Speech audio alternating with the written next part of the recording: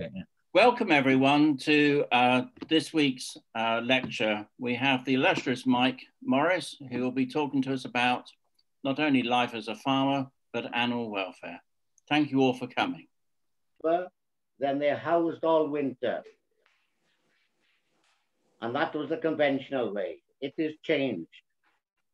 Now we can also introduce a New Zealand style way of milking where the cows are kept out on grass as much as possible.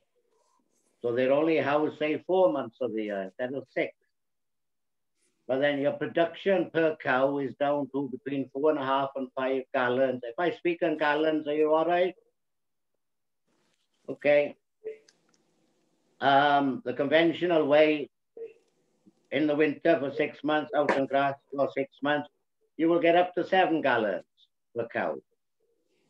The New Zealand style is you're feeding grass, mainly 95% grass and very little bought in feed.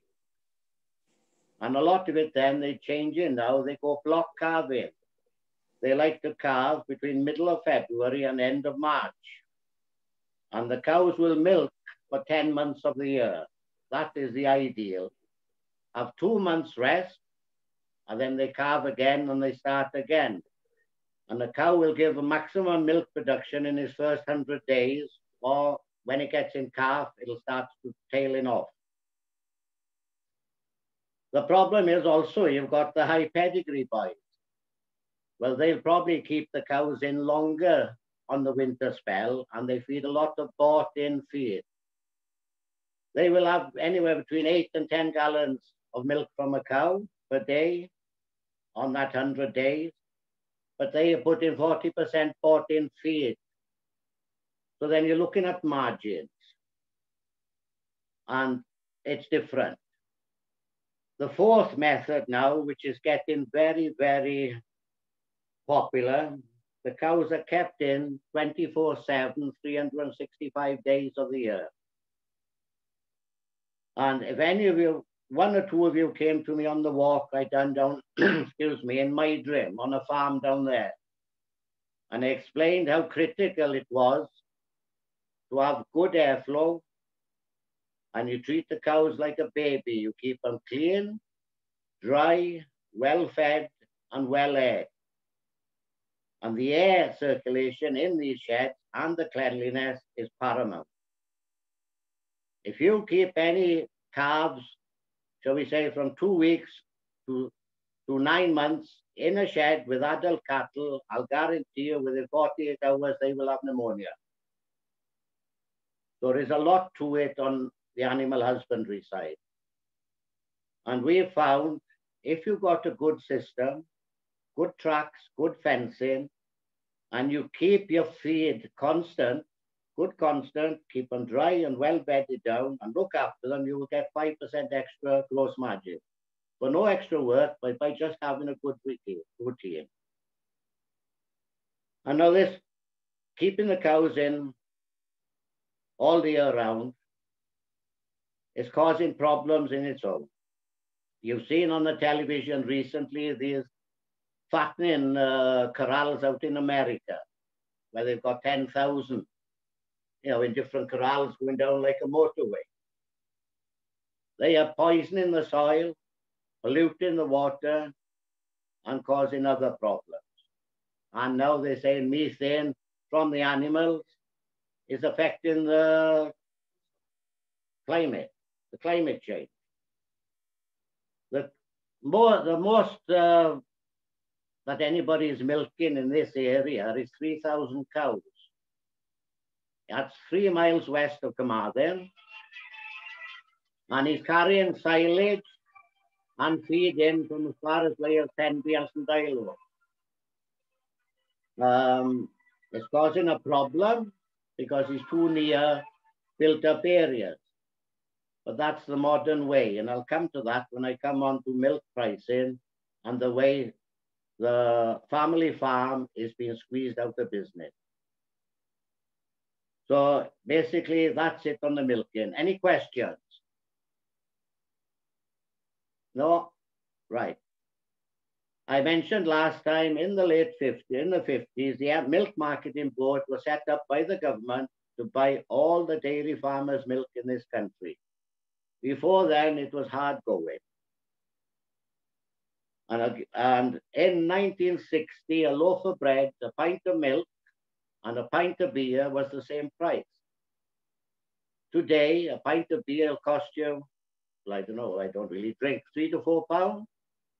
Loaf of bread will cost you one pound something. And a, and a liter of milk, which is 1.6 of a pint, no, the other way around, will cost you what, 50 pence? I was getting 22.4 pence in 1984. The farmers are getting anywhere now between 27 and 13 one pence per litre of milk. And I'll come on to that now. And the problem, there's not enough margin. The cost of production per litre is anywhere between 21 and 25 pence a litre, depending how good you are and other varying factors. And any business relies on, if you've got low borrowings, same as most of us now in our old age, we got mortgage-free houses. Totally different than having a mortgage, isn't it? So the costs are so tight.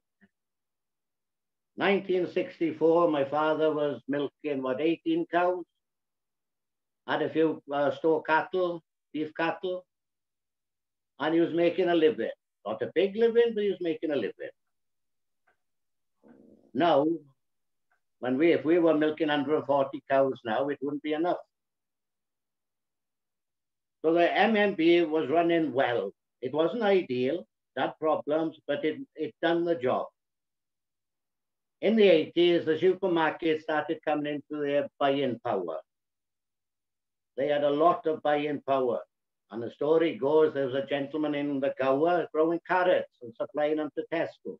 And what I'm going to say is my own opinion, okay?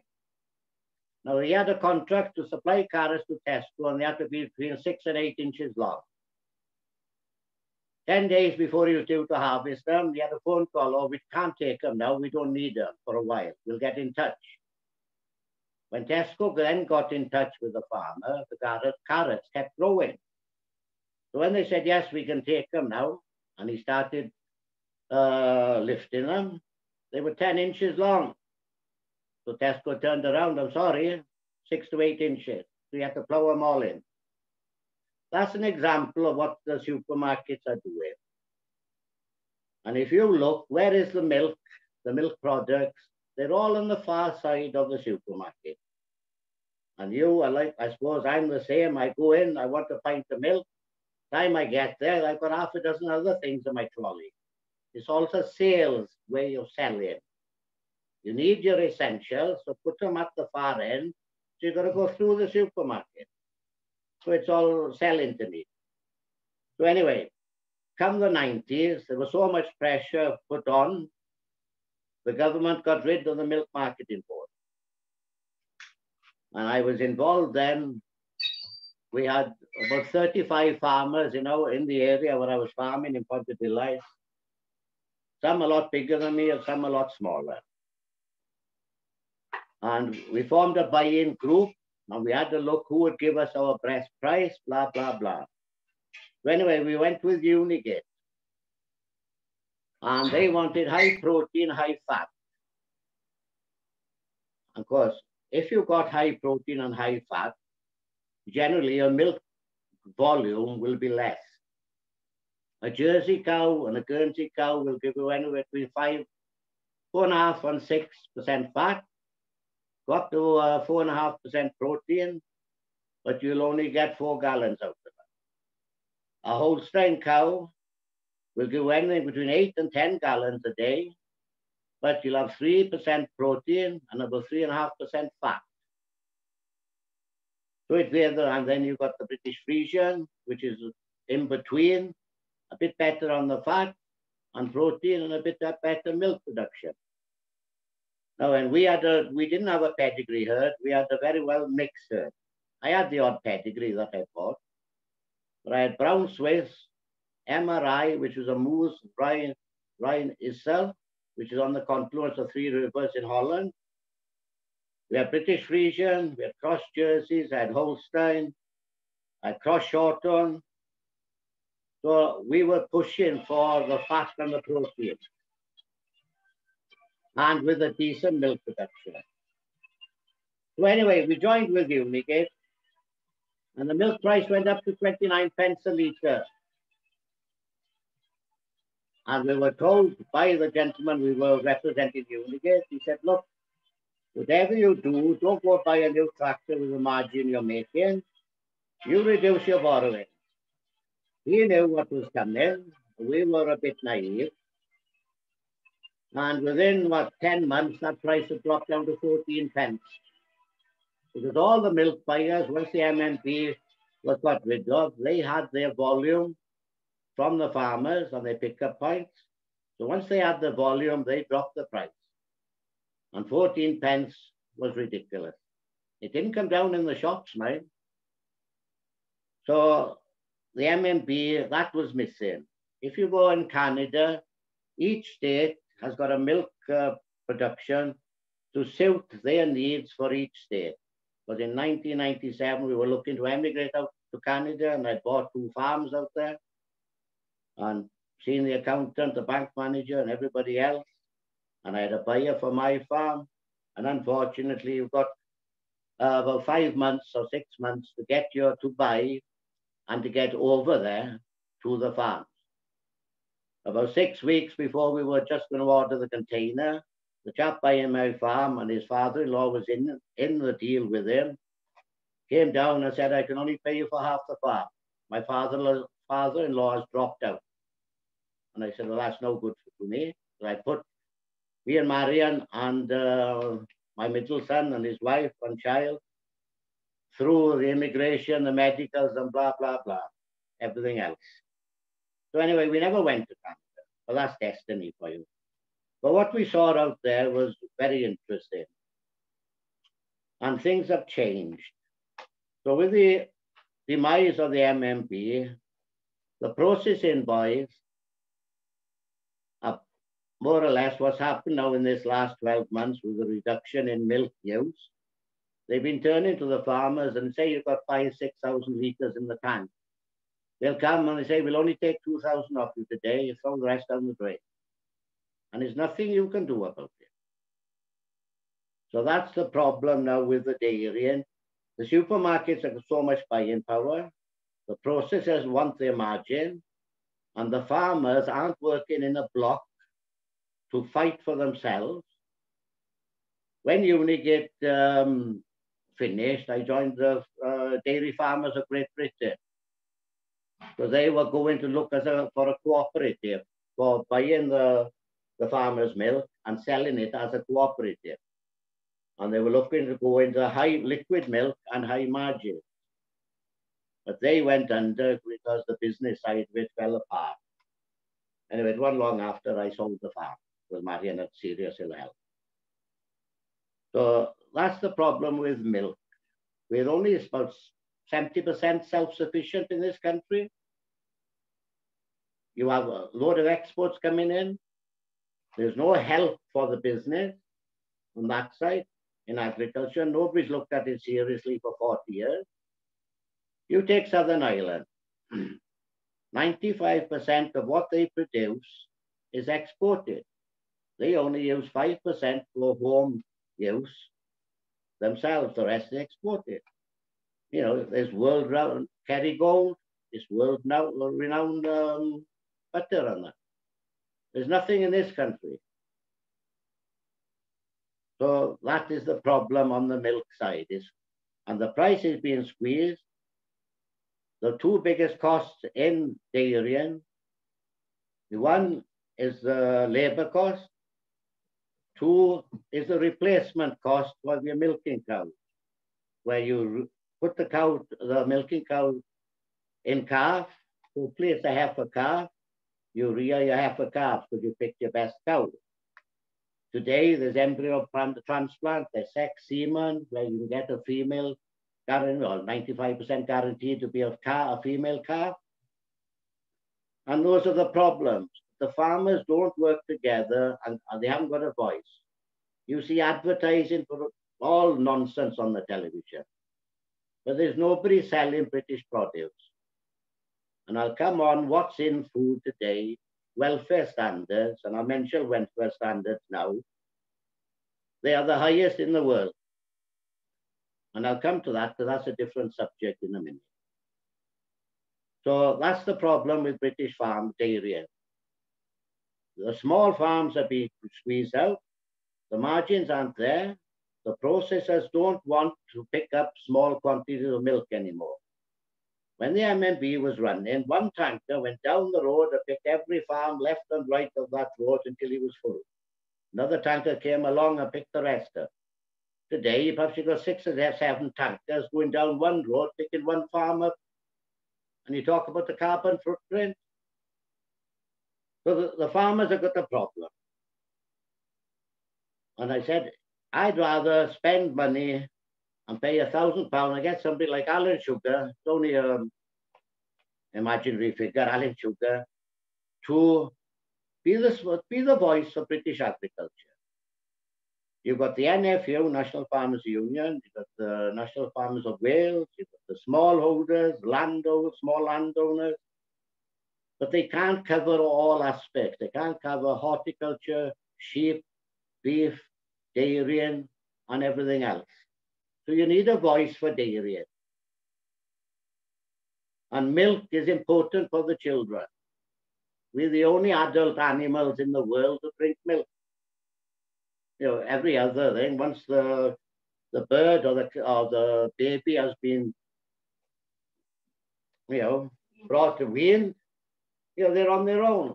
Well, we drink a lot of milk. And another subject is what's in milk. It's less than 4% fat, about 3.1, 3.2% protein that you drink. All of us about fat and everything. How much milk you drink? Not a lot. School meals. Is a free school meals today? I've asked one or two people and they say no, because we haven't got kids now, so we don't know. And I'm out of it a bit. The processing people don't want free school milks anymore. Supermarkets don't want it because there's a large percentage less bought through the supermarkets if you put free school milks back. So it's a vicious circle. So any question?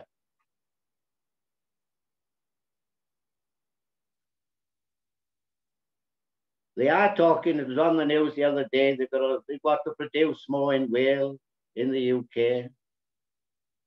And it's not going to happen unless somebody grabs it by the hair and sorts it out. And to do that, you've got to make a fuss. And the farmers won't make a fuss. And what you're going to end up happening is you'll have large farms, the milking cows kept in 24 7, 365 days a year. And the smaller farms will either be bought up, the family farms around them, and they'll be feeding that one big farm. So that is a problem that's going to come. And the other problem is when you're driving down country roads in the summer, your windows open and all of a sudden you close it in a hurry. Because there's a funny smell around the place. They put the slurry out. Can you imagine how much slurry 3,000 cows produce? And all this rain we're getting now, if it's not contained properly, they're trying to put grants in, small grants, so you cover the yards so the dirty water doesn't run off. It's contained. Yeah, but they're 30 years too late. A lot of farmers have done it, man. There's a lot haven't. So that is the problem. So it's an ongoing problem. And uh, as I'm saying, with the family farms, we, me and Marion and the family, we didn't have holidays away. Because if it costs 500 pounds for a holiday, shall we say, to go anywhere abroad or wherever you wanted to go, it'll cost you an extra 500 pounds to find somebody to do your job. And to find somebody who's reliable is difficult. Me and Marion and a couple of friends, we went up to North Wales for the weekend. I milked on the Friday night and we shot off with our friend. And I'd made arrangements. Uh, this other chappie was going to come in to milk. And I had a phone call then, half past five in the morning from one of my sons. Your milkman hasn't turned up. He's got the flu. So I turned around and came home. One of the boys milked the cows before he went to work. So I wasn't very pleased. And the only time you don't turn up if you're a relief milker, you're either dead or you've broken your leg. So those cows have got to be milked. And if they're high producing animals, you don't know if you've noticed, but there's a strain on it. So the milking cow works very, very hard. And it's got to be looked after. And they're like pets, a lot of them. You know, you you see me saying one thing, I put that uh, TikTok on the U3A, and somebody said it was cruel when this chap lifted the tail and kicked him in the backside and he shot up the lorry. Well, it's better than a stick. That animal had a fright. That's why it shot forward, not that it was hurt. It's better than a stick. And I've even seen even get these sticks now that are electrified with a battery. So if you touch an animal, it gets a shock. Yeah. But then yeah, that goes back to the way you farm. We're all different. And I'm a big believer, if your sons stay home, they will only learn as much as you, unless they're exceptionally different. So as far as I'm concerned, when the kids come 16, 17, kick them out of the house for two years. Go and, go and work somewhere 200 miles away so you can't bring your washing home. And then you will start growing up and take responsibility. So there's a lot to it. I'll get on to animal welfare in a minute. Any questions? No? Right, good. Let's change the subject a bit. Uh, as a family, we were loud, noisy. I had three, we had three boys. And when the boys were five or six, Marion said, I'm sure there's something wrong with our boy. Because she had, she was one of three uh, sisters. I said, no, they are boys. And boys, as far as I'm concerned, they get up to mischief. Hope to God they stay safe. And that's how they, they develop themselves and a personality and learn. You know, we had quite a few odd moments. I think the children have got uh, following their mother, you know, a bit noisy and rampant and up to no good. Uh-huh. Our middle son, he was what, six when we lost him in Samuinio? He was six or seven. And I'd bought a 35 acre small holding when I was working with the poultry industry. And there was a well down on a pump house in one of the fields. I went down to have a look and the boys followed you. Following day, the middle one went missing. Of course, my biggest concern was that he'd gone down to this blinking well and something had happened to him. But thank God, no, everything was right down there. So anyway, Marion phoned the neighbors out around. They all came out looking for him. We must have spent over an hour looking for him, couldn't find him. And in the loft of one of the outhouses, one of the sheds, we had a bit of storage there and we had a rolled up carpet. And the little monkey had crawled in there and gone to sleep. But we found him and he was safe. Because they were three boys and boisterous, we had a cow. I bought a cow in Cardigan. It was worth 540 pounds, And she was deep-bodied, good milker, and a lovely, lovely temperament. And they called her Dopey, which was unfair because she wasn't dopey. She was just a lovely cow. And they got in the habit of jumping on her back after milking to ride her out to the field. And I wish I'd taken a photograph of it, but we never did. The other funny moments are, I we had a lot of rats on the last place we had. That was 240 acres. It was um, run down. There was a dirty so-and-so who had it before, so the rats came and had a good time there. So anyway, I called in the pest control from the council in those days to help get rid of them. But unfortunately, I put rat poison down in one on one farm we had, and I killed my best sheepdog. He got, got hold of the poison. I learned from that. Anyway, I was taking a bull shed down on a pen. I wanted to put it for, to contain slurry from the parlor washings and the yard. And our youngest then was about 14. Alan. So I gave him a heavy bit of stick and I knew the rats were under the slate. So I said, when I lift the slate up now and the rat jumps out, you whack it one. So there he was, stick ready. I lifted the slate, the rat shot out, nothing happened. So I turned around, there Alan was running hell for leather across the yard with the rat a yard behind him. Well, we laughed. The other, uh, it wasn't, it was a funny moment for me, but not for Susie, my dog. And we were big pals. She was a lovely, lovely sheepdog, good working. And if she wasn't with me, I knew the grandchildren came. But she loved the kids. They'd jump on her, ride her, pull her ears, but she never stopped or growled. And when she had enough, she'd come back to me. Anyway, I don't know if you know, in a silage shed where you bring the grass in and you compact it, it's called silage. And the face of that then with, with us was about five, six meters tall. The cows were fed outside in rings. Also, they fed up the face with electric fence in front of the silage field. The trouble is they could only reach six or seven feet high. So every two or three days, you had to go up and fork down the silage, otherwise they'd undermine the face and the top would fall down on them, pin them to the ground and suffocate them. It has happened, but not with us. So I jump up with a fork and start cleaning the face off to square it off, and Susie would be with me, the dog.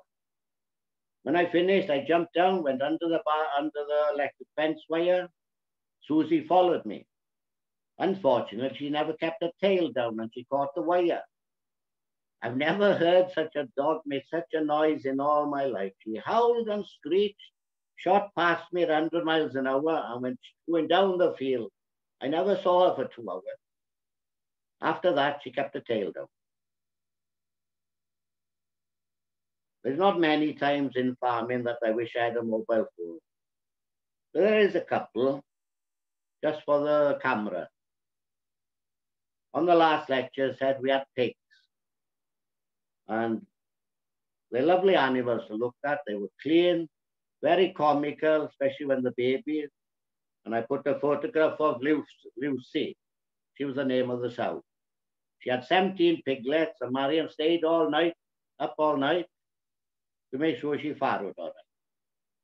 So it's all I did was give her a board.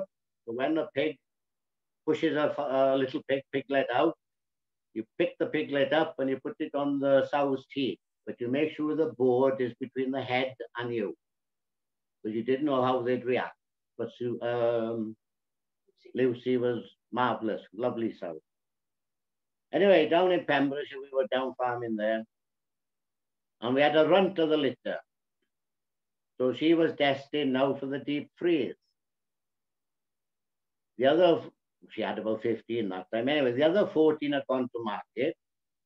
And this runt now was put in a shed on her own, fed, model coddle. Boys used to play with her. And she was getting now to well over porker size, so she was due to go into the deep freeze. It doesn't sound very nice the way I say it, but that's like. Anyway, one morning I was milking and three cows came in and their quarters had been sucked.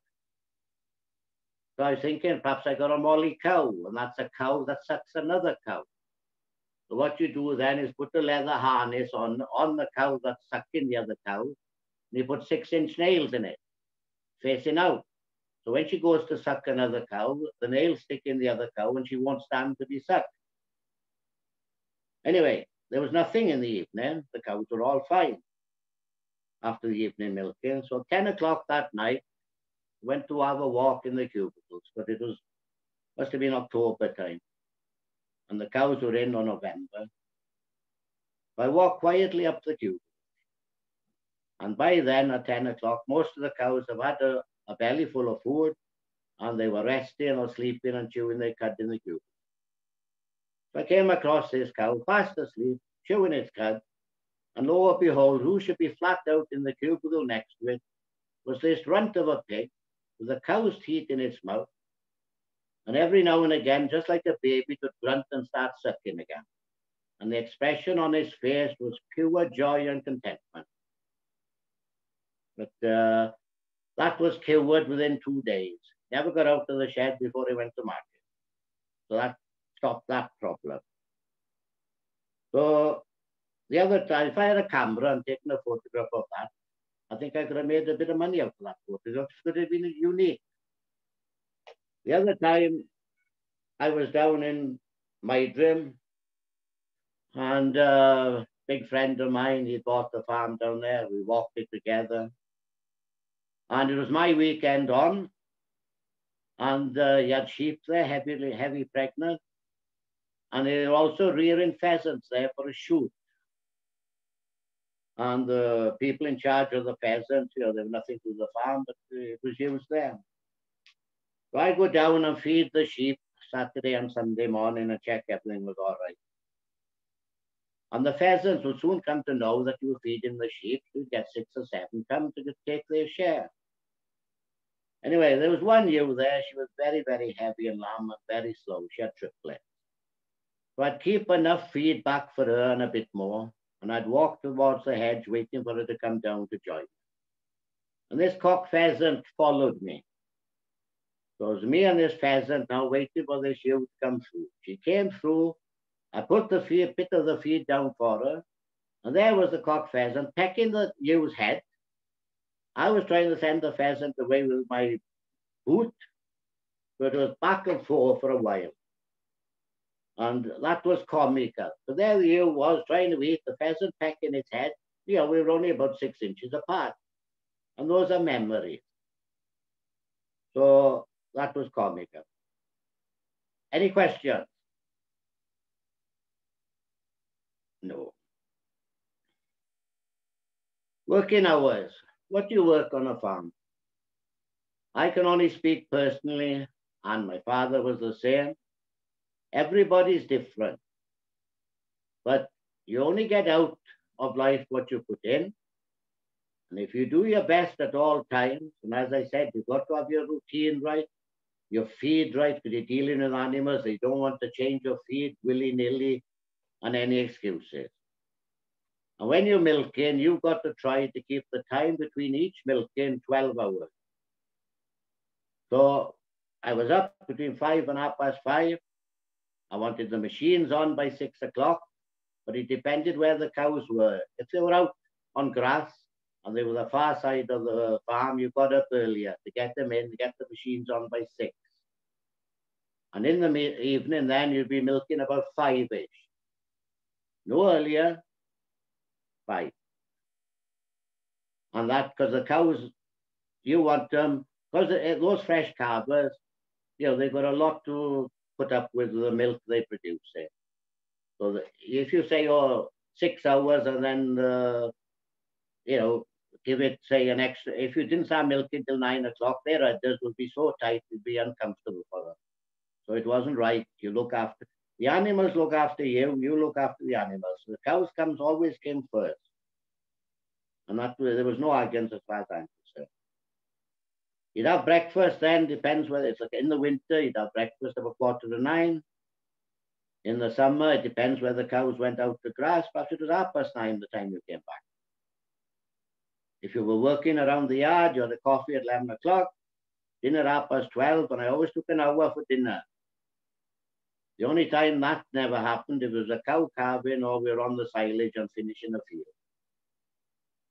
But then I could have about 20 minutes sleep. And then you've done the jobs in the afternoon, you were either fencing, we done all the building work myself, the fencing myself, and anything else we done ourselves. But we had a lot of money borrowed at the time, so you couldn't afford to pay somebody. You got on with it. It wasn't a problem. Very enjoyable especially with the dog. And if the dog, dog had a couple of hands, it would have been very useful. But he was a lovely animal too, see? And then you uh, come in about quarter past four, have a cup of tea. And then if you were on your own, which I was for a while, you'd be out then quarter of an hour later, start feeding the calves. And put everything ready for milking, then you'd milk. And then Marion would scrape out and we'd bed down I'd give the silage, feed up, we were in about half seven. The only time that changed was in the spring, from March to April. Well, towards the end of February the end of March, depending on the weather, you were out on the field, putting fertilizer out, you were chain harrowing, you were rolling the field. But I never worked later than 10. Only if we're on the silage and we're coming to an end of a field for another 20 minutes, the field was finished, you carried on. Then you had 140 cows, they were calving all the year round. And 70%, 75% of the cows were calved in the night. It's nature. It was safer in the night than in the day in the wild. And you check the cow, go and check uh, after milking, you see the cow, you go out at 10 o'clock, you put your hands on her, check her, then you'd have an idea, you'd say, oh, she's going to calve between 2 and 3 o'clock in the morning. You know, you had experience by now. So if it was 2 or 3 o'clock, I'd go to bed. If it was before 12, I'd stay in the chair. And then you go out and you just make sure everything was right. Or if you wanted assistance, you helped her. And you learned a lot, you know, you, you taught yourself on the vet. I had a good vet when we were in Savinio. Uh, if you showed interest, he'd take time to show you. My father had a cow with wire in the stomach. And he said, boy, come here, in Welsh that was. And he said, on the left-hand side, uh, from behind the cow is the stomach, right-hand side is the womb. He said, put your ear to the left-hand side, and you hear a pinging in the in the stomach, and there's four stomachs to out, and that was the wire. So she had to have an operation to take the wire out. And uh, what was the name after that? Operation. So you, in the middle of the night then, especially on the winter when all the frost was down and that, you'd go out, say, two o'clock in the morning. The first thing you do is look up, because you could put your hand up and reach all the stars, the Milky Way, the bear, the plough, it was a lovely, you know, you always spent a couple of minutes looking at the sky. And you said a few thanks to the, the higher up, and then you went to see the cow. So that was, and you know, you still got up uh, five as five in the morning. But you, you were self-employed, you could adjust what you were doing. And the same as everybody else, I got fed up sometimes, I had a day. So me and Susie then would walk the boundary and walk through the field to see if everything was all right. And when you're growing grass, your pH has got to be between six, six and a half and seven. Otherwise, the grass can't utilize the fertilizer properly, so you're wasting money. And anybody who knows me well, I don't like waste. So, you know, you just look and you think, and the, the ground will tell you what it needs. And when we bought the last farm, there was one field there. I could grow a good crop two feet high, three feet high in the middle of the field. For 50 yards all the way around, I couldn't grow any grass. So I got calcified uh, seaweed, and I put that on. It was a different field after that. The farmer before me didn't want to take muck down there, and I didn't use slurry. Only a small, very, what, 5% of the cow's waste went to slurry, the rest went to solids. And while we, I'll talk about that with the slurry, yes, there is a smell with it. And I had a sprinkler system on the farm where the dirty water went through the sprinkler system. And anyway, you're supposed to move it every 12 hours. I don't know what happened, but I didn't move it one day. And when I went to move it the following day, there were 16 buzzards all around the sprinkler. I turned it off now. All around the sprinkler, but the dirty water and the slurry takes the oxygen out of the top surface of the soil and kills the worms. So all the 16 buzzards all around eating the worms. So as far as I'm concerned, slurry should never have been allowed. It should be solid manure. And this year's manure, the waste from the cow, should never be used till the following year. should be allowed to, to uh, break down. And when you put that on the ground, it slow release uh, phosphate and potash and a bit of nitrogen. And the worms have got time to pull it into the ground. It improves the soil. With there's so much water and there's so much water in the slurry, you haven't got your system right, you see a lot of farmers, I don't know if you have, going along the road, pumping slurry over the hedge. And I know a few instances where at 12 o'clock at night, uh, shall we say, um, the alter the flow of the water to get rid of it. So, but you know, that's all got to be looked at. If the job's going to be done, it's got to be done properly. And the family farmer was a better farmer for the environment and the wildlife. You know, we used to enjoy watching the skylarks. They'd fly up and be singing. You don't hear that anymore. Because now it's silage. You're doing the silage anytime from the 1st of May to the end of May. Well, the birds have nested, they laid their eggs, and if they've, if they've hatched, the grass is cut. So they killed off. The only time you see skylarks now is in on wild meadow or on side verges where they've learned. But they've been reduced in number. And as a family, we love the wildlife. And we still do in the garden here. We got the three or four pigeons come in. They got names. One used to feed out of your hand, but he's dead now. He had lost him about six months ago. His wife still comes, Mavis. She was there. So, you know, the father family, it's memories. You take photographs of the grandchildren feeding the pigeon on their hand.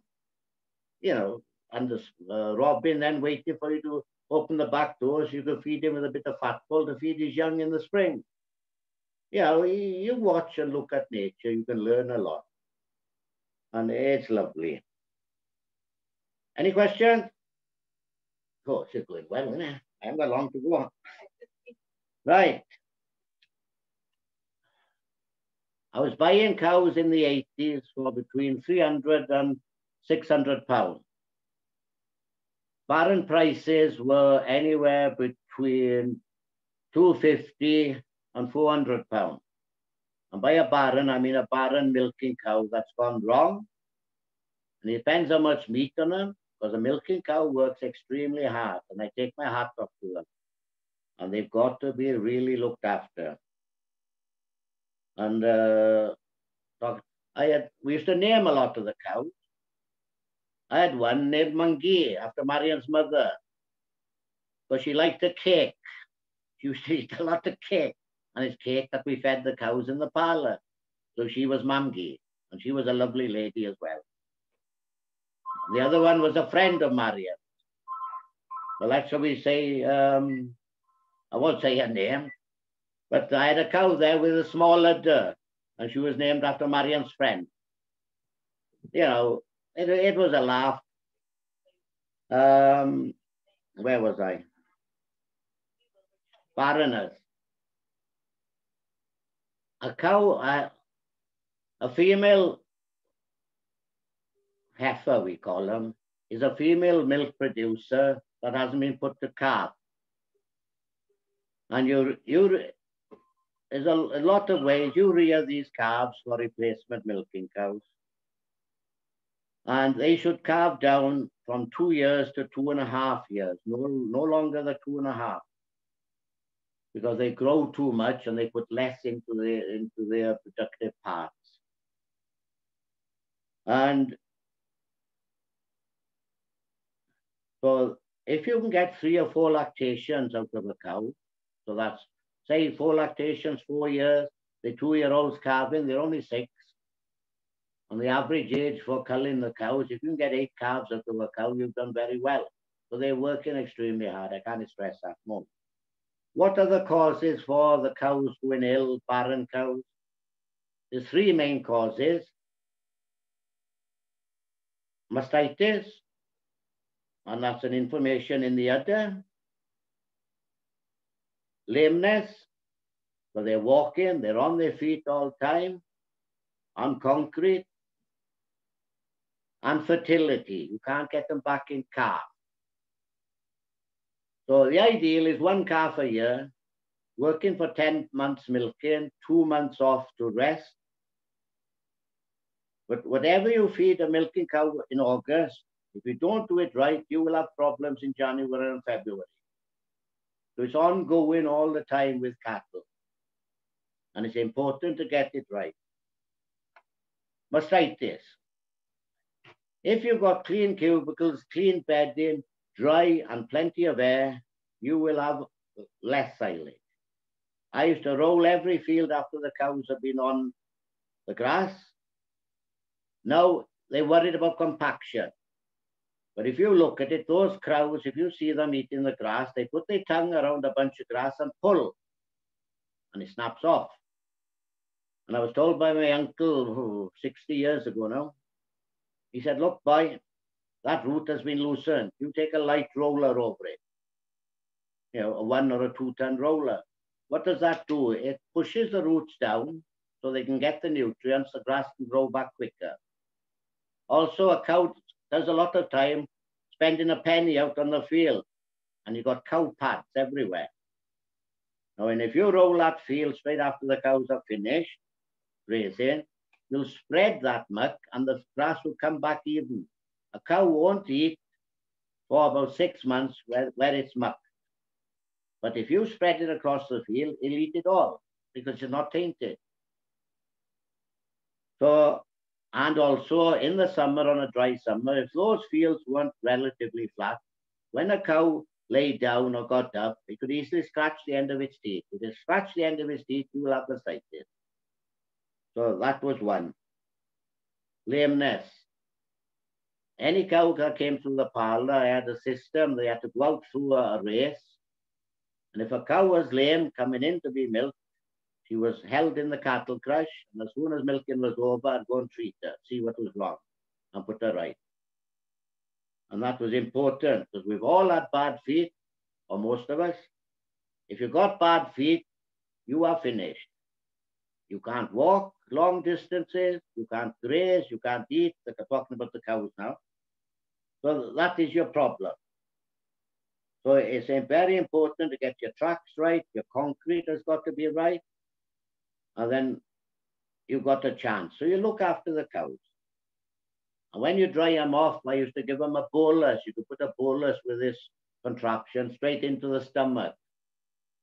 And that would be, contain magnesium, calcium, and a lot of trace elements.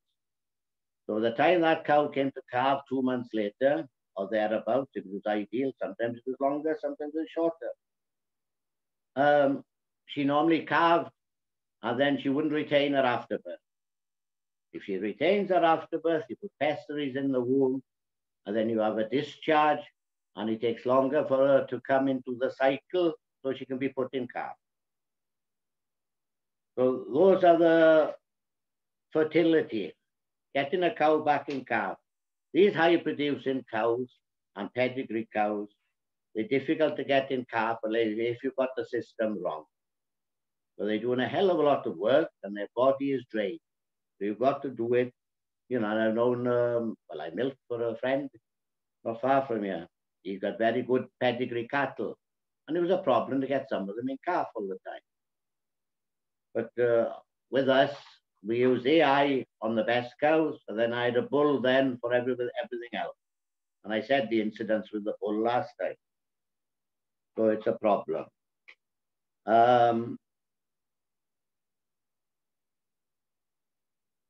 If you've got a fertility problem, you can end up having one calf every 18 months. Well, your costs then are increased. So it's all important. It's about doing the job properly.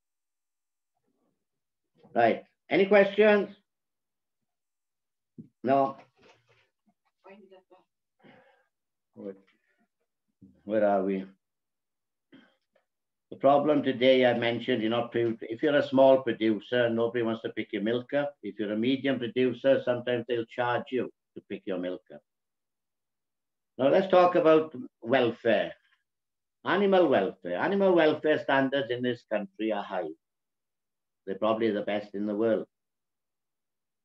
Not every farmer is a good man. And you got that in all walks of life. Whether you're, you know, whatever it is, there's the good, the very good, the good, and the indifferent, and the odd problem person. As I said before, you look after your cattle, they will look after you because they paid your bill. So welfare was important. When people get involved and they don't understand the farming principle or done it on a big scale, I'll give you an example. And this isn't very nice, but I'll tell you anyway. A lorry taking calves export to France. The French won't buy anything made in Britain or the produce of Britain, will they? So if you live export these cattle and calves, because they use a lot of veal out in the lowlands, you take them out alive, when they're put on the table and as veal, it's produce of France, yeah, not Britain. So they sell. Bull calves in 1991 or somewhere around there were make Friesian bull calves. They haven't got a lot of meat on them. We're making between 80 and 100 pounds at three weeks of age. This lorry was carrying the calves down to Dover, broke down. A film star or the television people got involved on the paper saying about cruelty and everything else. There should have been a contingency plan. It's not a problem. If a lorry breaks down, these lorries were designed with side panel uh, side panel doors. Just drive an, empty lorry up along it, drop the panels so you can move the calves across. Is there a problem with them being on the lorry too long? Yes. We'll have a holding station down near the ports. Offload the calves. A farmer can do it as a business. And those selling the calves will pay anything up to 10 pound a head for them to be looked after before loaded back on the lorry. It's not a problem. What happened? Cruelty to animals, everything else. So the export of these Friesian bull calves was stopped. The price of year tagging and everything else, feeding them for three weeks, taking them to market, instead of having 80 to 120 pounds, you ended up having three pounds per calf. Now, any business has got to make money. So what was happening? When you were having Friesian bull calves then, they were shot. Mainly shot and taken to the Knackerman or taken to the kennels to be fed for dog food, which isn't very pleasant. And that was caused with poor knowledge. They should have looked at it. It wasn't, it could have been overcome the problem. No, jump up in the air, shout and see what you see without understanding. Why are calves, baby calves, fed on their own? They kept on the cow or fed, fed colostrum milk for three days. That colostrum milk is the immunity from the cow, from the dam to the, the calf. They're making a fuss. You see these white little kennels in the fields with one calf penned in alongside them, got about six feet of room. Why is that? If you put 10 calves together, it's the same as uh, youngsters. You'll have some who are bullying the rest and eat more than the rest, and there's one or two who won't get their share, so they be poor doers. So there's things like that you've got to look at. And that's why we always rear them for the first six to eight weeks on their own as individuals. Occasionally there'd be two in a pen, but, but they all got fed properly, they grew, and they grew well. You didn't have any poor doers. So that's why. Any questions? Uh, Mike. Yes, I'm running out of time again. Yes, thank you. Mike, question, yes. question, Mike. Yeah. In your first, when you first started, you mentioned these massive farm uh, in Carmarthen, was it, or North Wales, 3,000 cows, all right? Yes, he's farming three miles west of Carmarthen. Yeah. Now then, you also said that you had to separate the calves because uh, if they were with the with the adult cattle, they would die or the the fumes would kill them. So yeah. how do they do? How do those massive farms then deal with that? That's the first question. And the second thing is you talk about slurry. Why is yeah. it if, if it if it is not a good pro, uh, a good practice? Why do so many farmers use it? Well, do the slurry first, John. You're only supposed to put so, so much, so many liters out per acre of slurry. Yeah. Right? Yeah. And you, there are machines that you can put the slurry out and it's put directly in the ground, but it costs a lot more money to do. Right. And let's put it this way: there's nobody policing how much slurry you put out. You can, I can, you can see if you're in the business, you'll see. Well, that's too heavy. When it pours to rain, you get runoff. Where does the runoff end up? In the river. The rivers, yes. Right? That, that, that's, that's a pet hate of mine. The other question on this chap uh, milking 3,000 cows, I'm not sure what he does there, but I should imagine he's not daft. When the cow calves, the, we used to keep the calf on the cow, still milk the cow after the calf had sucked. Go milk the cow, then put it back with the calf for three days. So it have his colostrum. The modern way now is you can uh, you can milk these cows that are calved. You test the milk for if they got good colostrum, and you freeze it, and then you bottle feed the calves and take the calf off the cow straight away. Right, yeah, yeah. So yeah. those calves then are reared in a different shed, John, not the same air. All right, okay, yeah. Or they taken to another farm to be reared away from that farm. And that's what I'm saying. These small, these family farms, they're packing up milk in, and some of them are, are taking these calves and rearing them, you know, at so much ahead.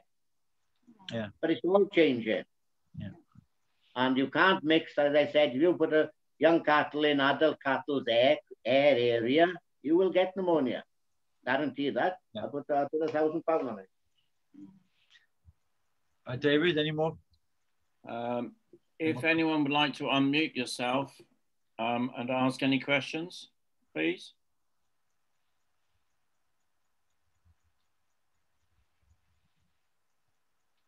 Can you hear me? Yes. Yes. Can you hear me? Yes. Yeah. I, I get my milk delivered. I, I get milk delivered and I pay, it's 81 pence a pint. How much of that does the farmer get?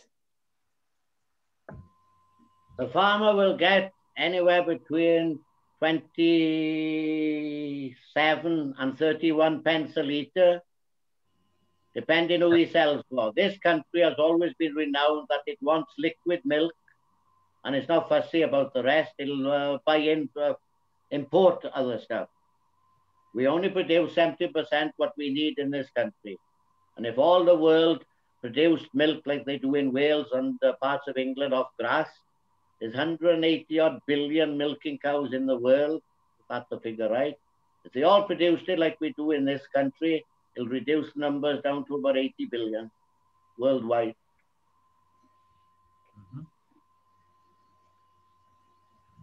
Mm. You know, your margins, Margaret, are too small. You can't be, you're in, you're in business to make money.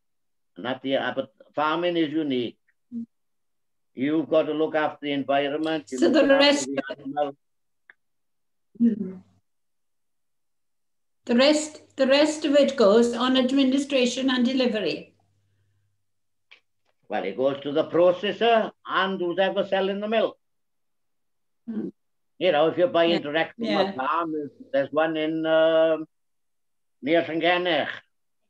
Yes, a guy Trevach is selling the milk there in bottles, a pound of milk a pint in a vending machine just before you get to the motorway. He's always um, selling as well um, milkshake. And uh, he's doing very well. Mm.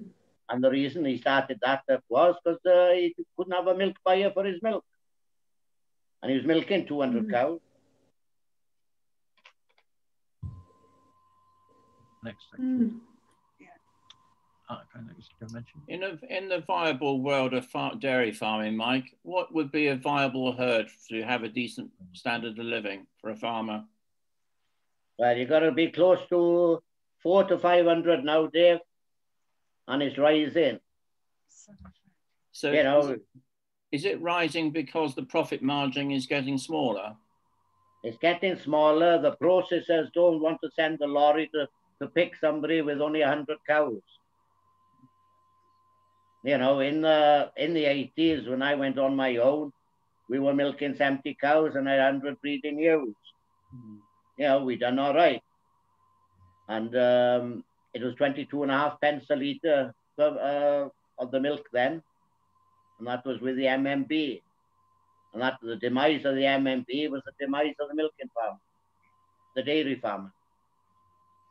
You know, they're pushing the margins. They're Mm. You know, when you got about, uh, instead of having eight or nine, ten pence a litre margin, now you're down to one, two pence. And dairy farming is capital intensive.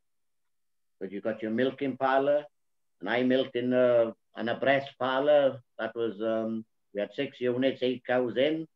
I converted a cow shed myself one winter. And then the second parlour, I had a 12, 12 herringbone. I was in the pit. I was milking 12, I could milk 12, well, I was milking 12 cows at the time. You put the machine on and you go around. Then you start singing to them or talking to them. And the worst cows you could get, they're just on the side. Yeah. The smaller the cow, the more bad tempered they are. And a friend of mine who was farming said, doesn't that apply to the ladies as well? But I couldn't answer him because my wife's only five feet. I thought it's safer.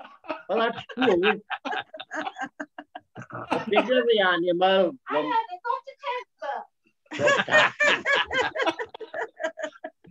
the bigger the animal, generally the more docile they are. I know it's strange. How tall are you, Michael? Pardon? How tall are you, Michael? Well, uh, about five foot eleven and eleven or five foot Oh, eleven and a half. right. yeah, yeah, the taller the other, more docile. That's, that's the male side, John. That's the male side. Females I'm talking about. I had one little cow. She always watched me putting the machine on. She wouldn't eat a cake, and I tell her to behave. And uh, she was she was good as gold, but she wouldn't uh, eat a cake till I put the machines on. But she'd turn her head and watch me till I done it. Hmm. But they're all different. They've all got feelings. They've all got personalities. You know. Yeah. It was a joy. It was never work. It was pure joy. Good, great. I have one now and again, but they were. Good. Right. If uh, if that concludes um, questions and answers, I'd like to take this opportunity to thank Mike for his um, Thank you, Michael. wonderful talk again. Thank you. Thank you for putting up with me and thank you for your help there. That's perfectly all right. Um, in the next one is in uh, February. Um, February, he says. Second Wednesday. Yeah. Second Wednesday, yes. I'm just looking it up because The pestilence, the great, the great pestilence in Wales, Thank you. 1345, whatever it is. Um, and Yes. it's in the evening, David, isn't it? it? Is in the evening at 7.30. Yes. Uh, this is at the request of the people who are delivering it. Now, you won't be getting a, um, I won't be setting up the Zoom link for that particular uh, one. Uh, the people who are delivering the lecture are setting it up because of the way they want to do it and with the technical presentation that they'll be delivering. So it's easier if they set it up. It's a dramatic one, isn't it? They're doing it like a, it's a drama. like like a drama yes and Yeah. there will be a 10 minute recess in the middle of it so you can all scurry away and get hot drinks and little tubs of ice cream and peanuts so you can flick them at the person in front of you and that sort of thing hmm. uh, Can I, can I just say, can I just say, I'm sorry I disappeared just now, did but it you was my, it was my local doctor's surgery to book us in for the vaccine on oh. Monday. Oh, well done. Well Well done. done. Hey, well done. Yeah, well, yeah. And, and can I also say, I'll never think of my bowl of cornflakes in the morning when I pour the milk and I put a piece of beef in the oven. I'll think of you, Mike, every time. Thank you. That's all I'd say with the food is you look what's in the food because bread is fillers put in. I was going to talk about polyphosphate and hypochlorite in chickens and other food, but perhaps that's another time. Yeah. It's a very interesting subject because you don't know half what goes in your food. Milk is genuine. Yeah. Yeah, yeah. Yeah. And then can you mention, David, about uh, the, the lecture, the, the, the fourth uh, Wednesday. Wednesday of next month yeah is Poetry Please. And the idea is that if you have a favorite poem or one or two that uh, you found really interesting or you've enjoyed, uh, then if you'd be willing to share that poem on our Poetry Please, um, Sarah Jew will be hosting that. Um, and so if you have a poem or two or one you've written yourself that you'd like to share on that, then uh, then if, if you'd like to share it, that that's what that uh, time is about. All right. So and that will be and that will be um, delivered at our normal time of two o'clock on that. Wednesday. yes, Yeah. it will. Yes. Yes. Mm. Great. Thank you, What- David, for your help. Date, what date is that? The fourth Wednesday. Twenty- Is that- What 24th of date is February. that? The Fourth fourth Wednesday. Wednesday. at Yeah, the 24th of February, Yeah. Margaret. Done. If that, Thank you for your help there. You're very welcome, Mike. Thank you so much for an interesting Mike. talk. Thank you, Mike. Yeah. Thank you very much. Um, I, I, can, I can have my sleep now. Uh, you can, yes. And may all of you stay safe. Thank you for putting up with me again. But stay safe. Look after yourself, please. yeah. Okay, Yeah. Mike. Thank Yeah. you, Mike. Can I just